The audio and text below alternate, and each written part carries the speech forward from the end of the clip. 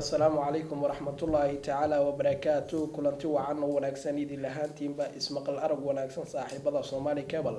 Aada dunida meel waliba aad ka joogtaan. Halkan waa xarunta telefishinka somali cable ee magaalada keentone dalka koonfur africa aniguna waxaan ahay cabdulaahi faarax nuur yirisow waxaana barnaamijkan gaarka marti inoogu ah taliyaha ciidamada ammaanka ee magaalada capton ee dalka koonfur africa waa asigu markii ugu horeysay telefishin afka soomaaliga ku hadla. Oo wareysi gaara siiyey aada baad umahadsantahay ku soo dhawo telefishinka caalamiga be saying. marka hore waxaad inooga warantaa farqiga u dhexeeya dadka ajaaniibta ay ku sugan magaalada capton iyo dadka soomaalida. Maxaadna ku tilmaami lahayd dadka soomaalida? Well, for me, there's no there's no difference. You know, foreigners are guests in this country,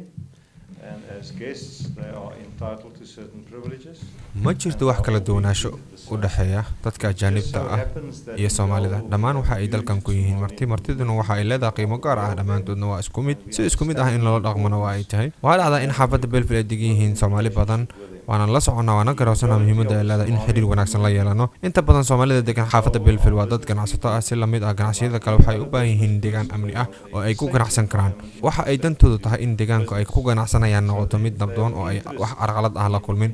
Waxa u joognaana inaan ka shaqeyno arrintaha amniga qusaysa taasina waa sababta aynu u loonahay wada shaqayn wanaagsan. Si guud dadka ajnabiga qaxootiga ah waa isku xuquuq si isla mid ahna ayaan unuga dhaqanaa Foreigners generally are all being treated the same in the country and in this this policing area. waxaa tahay taliyaha guud ee ciidamada amniga marka dilalka loo geysta ganacsatada soomaalida lana boobo goobaha ganacsiga tillaabada ugu horeysa ciidamada booliska ay qaadaan maxay tahay Well, obviously, we, we, if an incident occurs, we are informed. We would dispatch uniformed people. To sida caadiga ah markii ay wax dhacaan waana la soo wargeliyaa. Waxaana u dirnaa ciidamada amniga si ay u kurgalaan waxa dhacay. Kadib waxa ay wareysi la yeeshaan dhibanaha sidoo kale waxaan geynaa goobta ciidamada baarista dambiyada si ay u baaraan xaqiiqda jirta. Haddii aan helno xog nagu filan waxaan gudagalnaa howsha ilaa aynu ka helno dambiilaha kadibna maxkamad ayaan saarnaa. wax kala duwanaansho ah oo u dhexeeya ma jiraan qaababka aynu u jahno keesaska ayna soo wargeliyaan dadka ajaanibta ah iyo kuwa ayna soo wargeliyaan dadka wadanka u dhashay. Dhibanayaasha waa isku mid dambiilayaasha la tuhumayana si isku mid ah ayaan ula dhaqanaa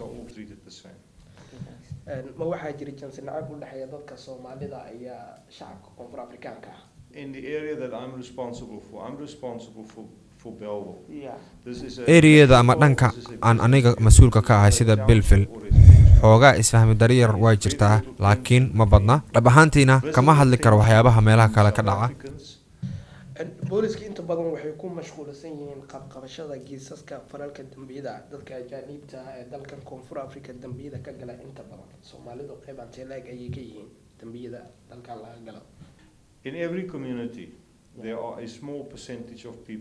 Bulsho weliba waxa ay leedahay dad tiro yar oo dembiyo gala. Haddii ahaan lahayd koonfur afrikaan ama ajaanib tusaale soomaalida waxaa jirta falaal iyaga ka dhex dhaca sidoo kale wax qaar lagu soo qabto maandooriyayaasha waxaa jirta inaan soo xirno soomaali geysata dembiyo dhac ah balse waa tiro yar. Aniga fikir ahaanteeda dadka ajaanibta ah ee degan xaafadani waa kuwo u hogaansama sharciga dalka u degsan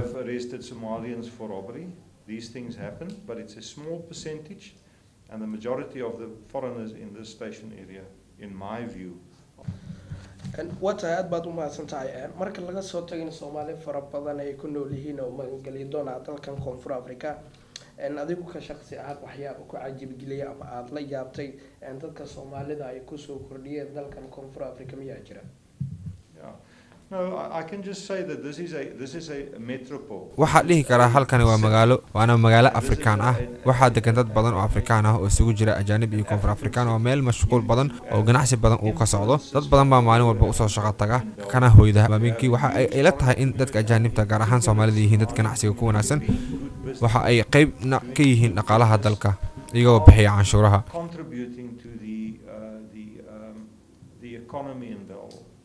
ugu dambeyn waxaan kaaga mahad celinayaa waraysigan xiisaha badan ee aada siisay telefishinkan caalamiga somali cable aada baad u mahadsan tahay sida quruxda badan ee aada waqtigaaga inagala qeyb qaadatay. Thank you very much. I just want to make a final comment, and that is that I have waad mahadsan tahay sidoo kale balse waxaan rabaa inaan ku daro faalo yar. Waxaa jirta xiriir wanaagsan aanan la sameyna odayaasha dhaqanka soomaaliyeed. Sidoo kale waxaan xiriir la sameynay somali association uu gudoomiyaheeda cabdi maxamed sida badan waa kulanaa waana ka wada hadalnaa dhibaatooyinka taagan wada shaqayntoonu meel sare ayay maraysaa. Waan idin mahad celinaya much.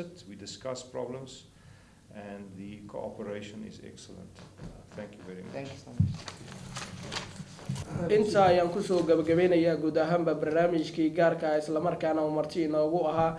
Taliyaha guud ee ciidamada ammaanka ee magaalada cape town ee dalka koonfur africa oo asigu markii ugu horreysay la hadlay telefishinkan caalamiga somali cable mahad celinayaa madaxa barnaamijyada telefishinka caalamiga somali cable qeybta koonfur africa maxamed axmed siyaad gele oo guud ahaanba barnaamijkan gacan lexaadna ka geystay waxaa sidoo kale aan u mahad celinayaa gudoomiyaha jaaliyadda sef somali community yuusuf axmed cumar oo asna barnaamijkan inoo fududeeyay waraysigan inaan la yeelano taliyaha ciidamada ammaanka ee magaalada cape town ee dalkan koonfur africa يانا وحانا كامرنين برامشكا أو غعان لحال لكا جيستي نانكا ترجمانا دا انجنر فايس المحودين عبدالله اندوي وحانا يدين تبين يانو عبدالله فارح نوري ريسو قدهان بدا وضيالتان انتان كوكو المدونة برامشكا نامدا وبعد تلفشكا عالميقا صومالي كابرل أو ان الاسيدا يونبت قليل